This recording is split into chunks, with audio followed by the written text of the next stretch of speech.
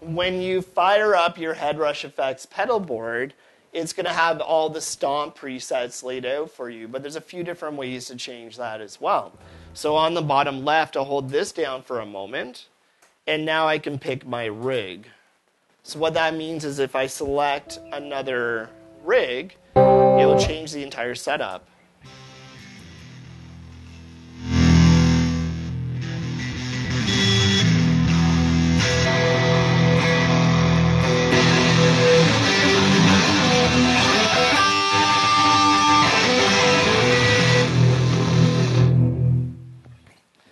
If I want to have the ability to hop complete rigs, but also be able to adjust the different stomp parameters, I'll hold this down for a moment.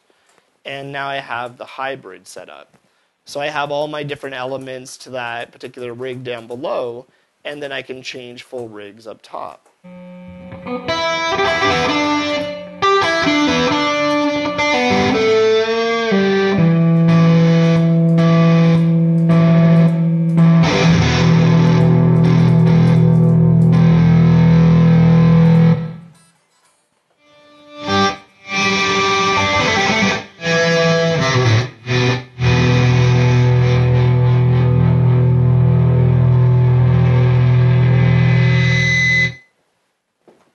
Very empowering stuff.